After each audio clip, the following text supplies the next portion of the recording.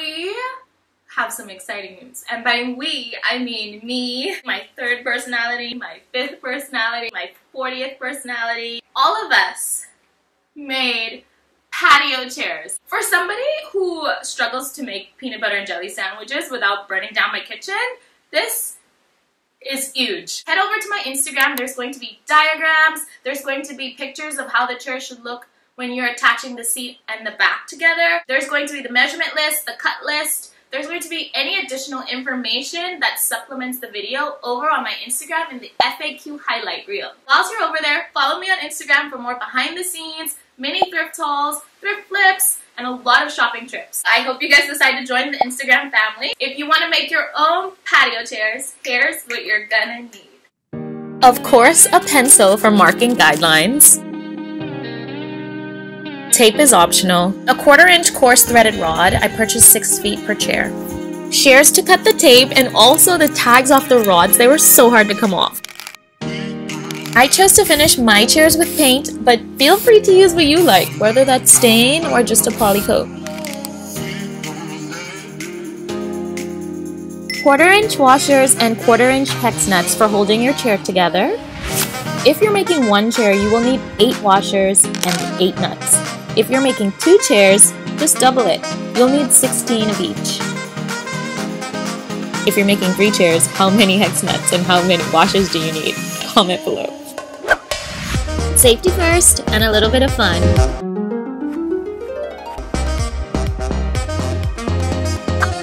A sander or a sanding block. I used a small spade bit to make lead holes for my drill to grip onto. And of course you need a drill or drill press.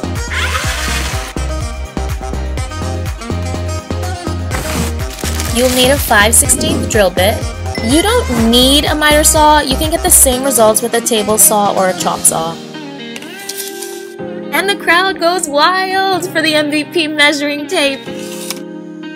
And of course, you're going to need your project plans, your cut list with your hole placements. The full list will be available on my Instagram FAQ highlight reel and in the description box. For this project, you're going to need to rip down two 2x4x10s into thirds. Accounting for the size of the blade in your saw, the measurement might be different from mine. Just remember, rip into thirds. Once you've ripped down your 2x4s, you're going to proceed with your smaller cuts per the project plans. The total amount of pieces needed for one chair is 25. Two 42-inch pieces, two 35-inch pieces, six 15-inch pieces, nine 9 and an eighth inch pieces, two 29 and 3 quarter inch pieces, and four 31 and a half inch pieces.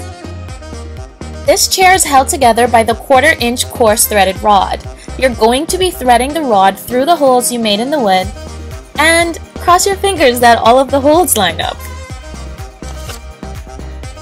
The full cut list and material list will be available on my Instagram FAQ highlight reel and in the description box below. Here's a tip. Ensure you're drilling the holes into the wide face of the wood. This is the face that is more wide than it is narrow. This is very important, so stay focused. I found it easy to keep my plans handy while measuring and cutting. You don't want to have to move away from your workspace very often. Sometimes with all of the numbers, things can get a little crazy. Keep your plans handy. Save yourself the stress. Measure twice, cut once. I'm speaking from experience. The most helpful tip in this whole video would be to set up a stop block so that you don't have to measure and drill every single piece of wood like I painfully did. Don't be like Tanea. The kerf, or the amount of wood removed when cutting, affects your measurements. I'd recommend using a finishing blade on whichever saw you're using. A thin kerf blade allows for less wasted wood, sawdust, and more accurate cuts.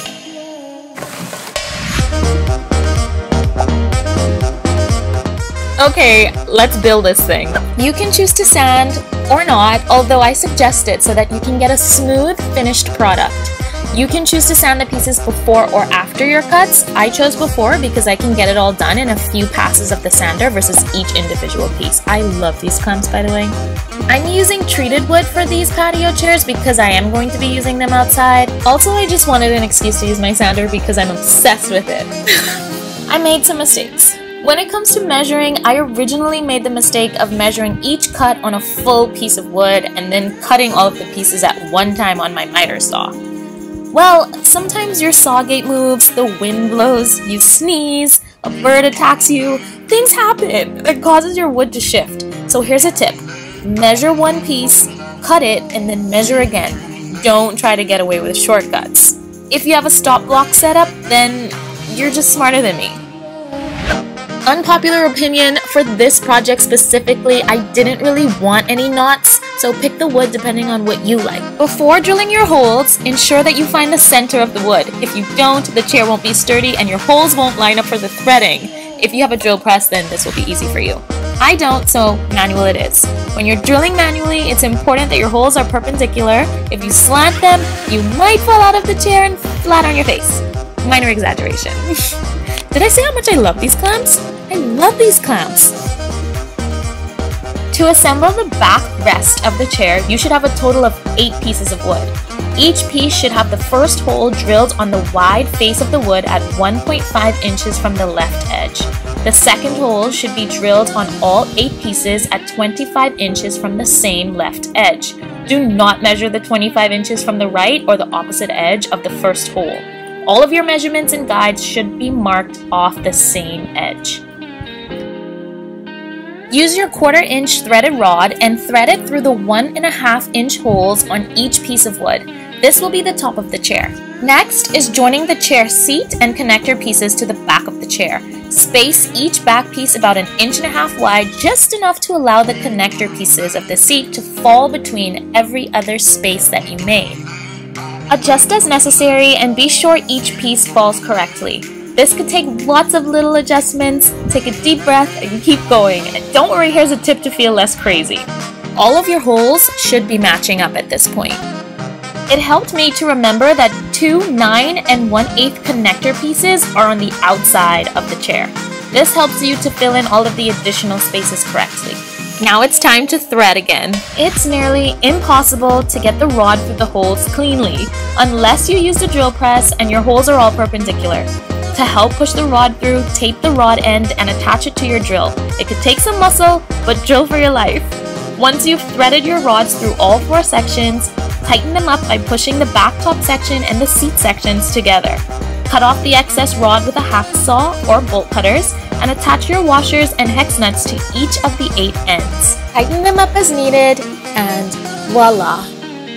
You're all done. I'm so obsessed with my new patio chairs. They're so lightweight and easy to move around, but heavy duty enough to feel secure while sitting and sipping on bevies on football Sundays or on cool evenings with family.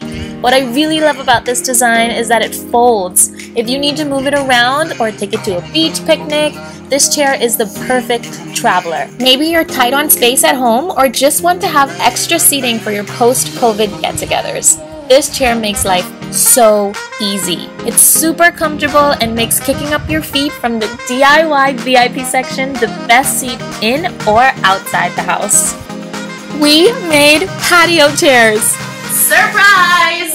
I am going to be renovating my entire outdoor patio from start to finish with these patio chairs being the first of many DIYs on the channel for the outdoor patio series. So, if you haven't subscribed yet, you might want to hit the subscribe button, like the video so you can stay up to date on when I post videos. And when there's new builds in the works, you can check out more videos on my channel and there's also bloopers on my Instagram.